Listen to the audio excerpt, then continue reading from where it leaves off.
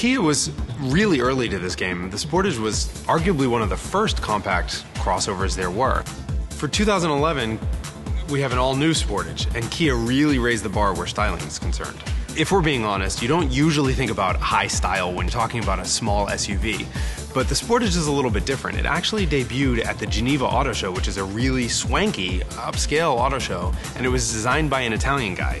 This is what I keep hearing when I, you know, for all my designs, you know, like they look kind of European, Italian, and they have that, they call it stylish resemblance, you know, that's typical of Italian design. We wanted the, the new car to retain some of the utilities and benefits from the older car, but being a completely different car, way more modern, way more dynamic, way more stylish.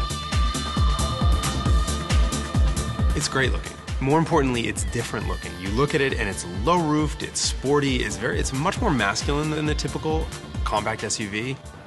It's a good looking car and that's really important to the buyers in this segment, and it's nice to drive too.